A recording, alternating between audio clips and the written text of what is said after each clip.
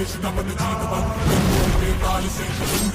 सजा जिस तरह मिट्टी के हर कण में पहाड़ होता है, हर बीज में एक जंगल, हर तलवार में एक सेना, उसी तरह हर एक मराठा में छुपा है लाख मराठा। तो दोस्तों 2019 में वैसे तो कई बड़ी बड़ी फ़िल्में आई, कुछ फ़िल्में हो गई सुपर हिट कुछ रह गई फ्लॉप तो कुछ रह गई ब्लॉकबस्टर हिट लेकिन दोस्तों 2019 अक्षय कुमार और अजय देवगन के लिए काफ़ी बढ़िया साल रहा, क्योंकि 2019 में अक्षय कुमार ने भी सभी फ़िल्में हिट सुपर हिट दी, वही अजय देवगन की भी इस साल दो फ़िल्में आई, दे दे प्यार दे और टोटल धमाल, और दोनों ही फ़िल्में बॉक्स ऑफ़िस पर बड़ी सक्सेस रही. लेकिन दोस्तों, अब 2019 खत्म हो रहा है और 2020 की शुरुआत होने वाली है। और दोस्तों 2020 की शुरुआत में सबसे पहली फ़िल्म आने वाली है हमारे बॉलीवुड के सिंघम, यानी कि अजय देवगन की, जिस फ़िल्म का नाम है तानाजी। और इस फ़िल्म को डायरेक्ट किया है ओम रोत ने, और इस फ़िल्म में सुपरस्टार अजय देवगन के साथ में है उनकी मिसेस, यानी कि काजोल मेम।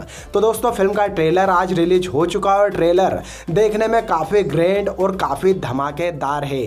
जी हाँ दोस्तों, आपको बता दें, हमारे देश की शान और मराठा योद्धा तानाजी मालसूरे के जीवन पर बनी film Tanaji the unsung warrior, जिस फ़िल्म में तानाजी का कैरेक्टर प्ले कर रहे हैं अजय देवगन। दोस्तों, फ़िल्म का ट्रेलर जब आज रिलीज़ हुआ, ट्रेलर को देखने से पहले मुझे ट्रेलर से काफ़ी ज़्यादा उम्मीदें थी कि ट्रेलर एक नंबर का होने वाला है। लेकिन दोस्तों, जब मैंने इस ट्रेलर को देखा तो मैं ट्रेलर को देखकर पूरी तरह से सोक्ड हो चुका हूँ। जी हाँ दोस्तों, जिस तरह के ट्रेलर से उम्मीद थी, उससे कहीं ज़्यादा बेटर ट्रेलर है। ट्रेलर की खास बातों की नज़र डाली जाए तो दोस्तों, ट्रेलर में जो एक्शन सीन दिखाए गए हैं वो कमाल के लग रहे हैं और काफ़ी नए हैं। साथ ही साथ दोस्तों, इस तरह की जो हिस्ट्री फ़िल्में होती है, उनमें वीएफएक्स का भी काफ़ी बड़ा योगदान रहता है। और दोस्तों तानाजी के ट्रेलर का जो वीएफएक्स है, वो काफ़ी धमाकेदार है। और साथ ही साथ दोस्तों, जो अजय देवगन सर का लुक है, वो भी कमाल का लग रहा है। और तानाजी के रोल में वो काफ़ी परफेक्ट लग रहा है। अगर तानाजी के रोल में अजय देवगन के जगह और कोई होता तो शायद वो इतना सूट नहीं कर पाता जितना अजय देवगन कर रहे हैं। इसके अलावा दोस्तों ट्रेलर में हमें मैम की भी थोड़ी झलक देखने को मिल रही है और काजोल मैम भी काफ़ी बढ़िया लग रही है। तो दोस्तों, घुमा फिरा के देखे जाए तो तानाजी का ट्रेलर पूरी तरह से सुपर डुपर हिट नज़र आ रहा है और एक तरीके से ये भी कह सकते हैं कि ये फ़िल्म अजय देवगन के करियर की अब तक की सबसे बड़ी ब्लॉकबस्टर फ़िल्म होने वाली है। क्योंकि ट्रेलर में उनकी एक्टिंग देख के तो यही लगता है कि उन्होंने अपने करियर की बेस्ट एक्टिंग की है तानाजी फ़िल्म में।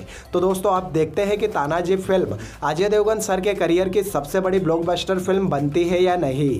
क्योंकि दोस्तों, आपको बताना चाहूँगा अजय देवगन के करियर की। अब तक की सबसे ज़्यादा कमाई करने वाली फ़िल्म है गोलमाल अगेन जिसने बॉक्स ऑफ़िस पर 200 करोड़ से ज़्यादा की कमाई की थी। लेकिन तानाजी का ट्रेलर देखने के बाद एक उम्मीद लगाई जा रही कि ये फ़िल्म बॉक्स ऑफ़िस पर कम से कम 300 करोड़ का कारोबार कर सकती है। जी हाँ दोस्तों, ये फ़िल्म सिर्फ़ महाराष्ट्र में ही 100 करोड़ से 120 करोड़ तक की कमाई करेगी। और अगर ऑल इंडिया की बात की जाए तो कम से कम 250 या 300 करोड़ का कारोबार कहीं नहीं गया। तो दोस्तों अजय देवगन के जितने भी फैंस हैं, सभी के लिए अच्छी खबर है कि ये फ़िल्म रिलीज़ होने के पहले ही ब्लॉकबस्टर होने वाली है। वैसे दोस्तों, आपको क्या लगता है, तानाजी फ़िल्म बॉक्स ऑफ़िस पर कितनी कमाई कर सकती है? 200 करोड़ 250 करोड़ 300 करोड़ या साढ़े तीन करोड़? अपनी राय मुझे कमेंट बॉक्स में कमेंट करके ज़रूर बताएँ। और तानाजी फ़िल्म से जुड़ी हर एक छोटी बड़ी खबर के लिए मेरे और आपके इस चैनल ए मीडिया को सब्सक्राइब करना ना भूलें।